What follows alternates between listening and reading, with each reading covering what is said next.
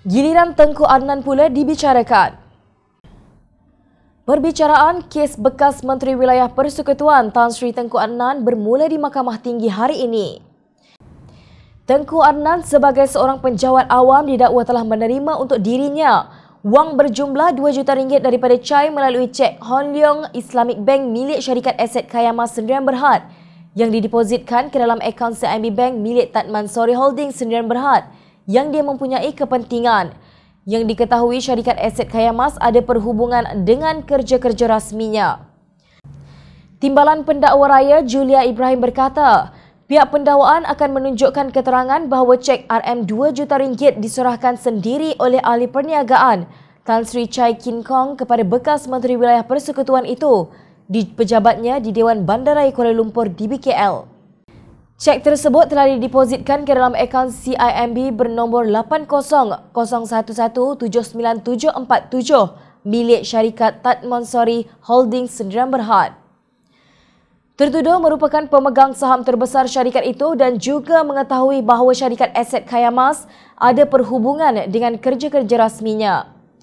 Julia berkata pendakwaan akan membuktikan bahawa pada 27 Januari 2015, Chai sebagai pengarah syarikat Aset Kayamas telah menyerahkan surat cadangan pembelian tanah untuk tujuan pembinaan rumah mampu milik di bawah harga RM200,000 dan apartmen harga bebas di atas tanah lot 53427 dan lot 53653 seluas 4.05 hektar di Bandar Tun Razak Kuala Lumpur. Bertarikh 26 Januari 2015 kepada tertuduh secara sendiri. Tertuduh telah memberi arahan kepada Datuk Zulkifli Ibrahim, Timbalan Ketua Pengarah Pelaksanaan Projek dan Penyelenggaraan melalui minit tertuduh iaitu yang berbahagia Datuk Zul. Sila teliti carangan ini dan jika boleh dilaksanakan mengikut kaedah kongsi sama, harap maklum balas. Sila bincang dengan syarikat, kata Julia di hadapan Hakim Muhammad Zaini Mazlan. Beliau berkata keterangan akan menunjukkan bahawa permohonan pembelian tanah-tanah itu oleh syarikat aset Kayamas telah ditolak oleh Datuk Bandar Kuala Lumpur melalui surat bertarikh 3 April 2015. Pihak pendakwaan juga akan mengemukakan keterangan menunjukkan bahawa syarikat aset Kayamas telah secara berterusan berurusan dengan Tengku Anan terhadap penolakan itu dan lain-lain urusan berkaitan cadangan projek berkenaan. Julia berkata keterangan akan dikemukakan untuk menunjukkan peranan aktif Tengku Anan dalam projek tersebut seperti mempengerusikan mesyuarat OSC khas pada 14 Mei 2015. Mesyuarat itu bersetuju dengan cadangan pembangunan projek tersebut yang mengandungi kediaman rumah mampu milik, rumah harga bebas dan asrama DBKL di atas tapak seluas 0.5 ekar bersamaan 0.2 hektar.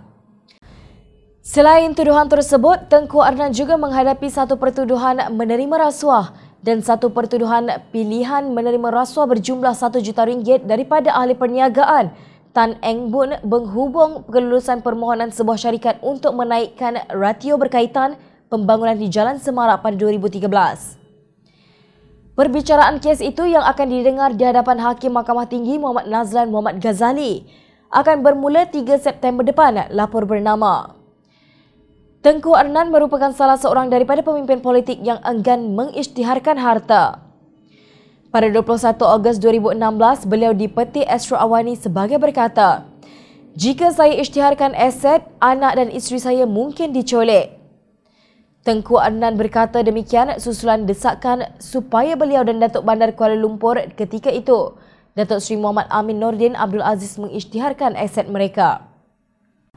Saya tidak akan isytiharkan aset saya kepada orang ramai. Saya hanya akan isytiharkan apa yang dikendaki, katanya. Patutlah takut sangat mengisytiharkan harta.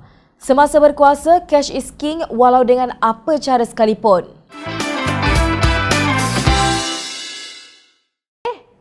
Hai! Jangan lupa klik kanan untuk rentasan berita, klik kiri untuk keratan berita dan jangan lupa untuk subscribe kami tahu.